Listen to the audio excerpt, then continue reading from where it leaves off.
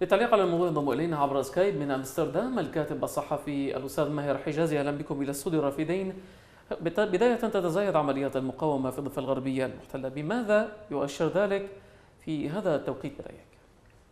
آه، نعم بداية تحية لك وللسادة المشاهدين. لا شك فيه أن الشعب الفلسطيني آه، يؤكد أن خياره هو المقاومة خياره هو مواصلة النضال آه، حتى تحرير أرضه. هذه العمليات العسكرية عمليات المقاومة في الضفة الغربية المحتلة إنما هي فعلا تأكيد أن الشعب الفلسطيني كفر بموضوع المفاوضات والسلام مع هذا الإحتلال الإسرائيلي وأنه الشعب الفلسطيني في مرحلة الدفاع عن النفس أمام الانتهاكات الإسرائيلية المتواصلة بحق أبناء شعبنا في الضفة الغربية. خلال اليومين الماضيين كان هناك تصعيد من قبل الجانب الإسرائيلي ضد أبناء شعبنا من خلال اليوم اليوم كان هناك اقتحام لمخيم الأمعري في الضفة الغربية المحتلة وتدمير منزل عائلة أبو حميد. هذه العائلة التي لها باع طويل في النضال الفلسطيني. وبالتالي اليوم المقاومة الفلسطينية الضفة الغربية هي فعلا يعني موجودة.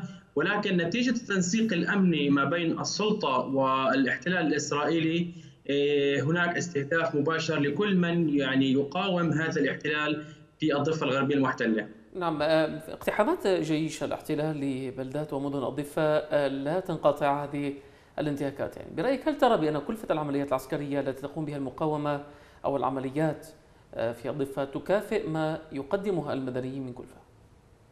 يعني آه، شعبنا الفلسطيني في الضفة المحتلة هو شعب تحت الاحتلال. آه، يوميا يمارس هذا الاحتلال الإسرائيلي بحقه آه، يعني انتهاكات جسيمة وجرائم. يوميا هناك شهداء من أبناء شعبنا الفلسطيني. وبالتالي الشعب الفلسطيني اليوم في الضفة الغربية وفي كل بقاع فلسطين هو في مرحلة دفاع عن النفس وتحرر من هذا الاحتلال الإسرائيلي.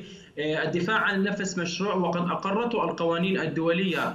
والمواثيق والمعاهدات الدولية أقرت للشعوب التي تقع تحت الاحتلال بمقاومة هذا الاحتلال. وبالتالي الشعب الفلسطيني يدرك تماما يعني مدى الفاتورة الكبيرة التي يدفعها نتيجة هذه المقاومة. والشعب الفلسطيني منذ أكثر من 70 عام وهو يقاوم الاحتلال الإسرائيلي ويرد على هذه الجريمة. وبالتالي لا يمكن لشعبنا الفلسطيني أن يستكين وفعلا هو يدفع يدفع فاتورة كبيرة من الدماء نعم. جراء الدفاع عن نفسه لأنه لا يوجد هناك في الضفة لا يوجد من يدافع عن الشعب الفلسطيني هذه السلطة العميلة في الضفة الغربية التي لا تدافع عن شعبنا وإنما هي تساند الاحتلال الاسرائيلي وتعاون الاحتلال الاسرائيلي في ضرب المقاومة وضرب أبناء شعبنا في الضفة. كيف ترى تعاطي السلطة مع الانتفاضة التي تعم الاراضي الفلسطينية منذ عدة أسابيع أو من عدة أشهر صراحة في غزة وحتى الآن في الضفة؟ للأسف هذه السلطة كما قلت السلطة هي تخون تضحيات الشعب الفلسطيني بالأمس. عندما اعتدت هذه الأجهزة جزءا من السلطة في الضفة على النساء الفلسطينيات هذا هو دليل على أن هذه السلطة وهذا التنسيق الأمني هو أكبر أكبر جريمة ترتكبها السلطة الفلسطينية وحركة فتح بحق الشعب الفلسطيني في الضفة الغربية. الاعتداء على النساء الفلسطينيات أمر مرفوض في الضفة الغربية والاعتداء على الشعب الفلسطيني.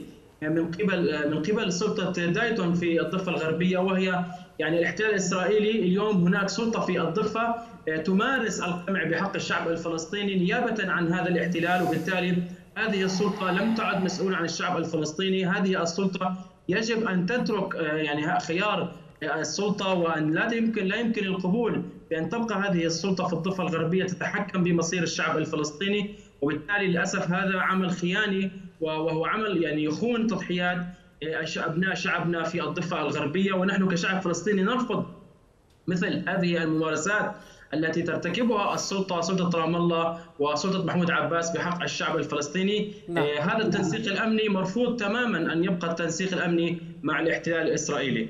هذه الانتفاضة التي تجري في الشوارع الفلسطينية، هل برأيك من الممكن أن تغير موقف المجتمع الدولي لا سيما بأن آه، أستراليا اعترفت بالقدس عاصمة للكيان الصهيوني.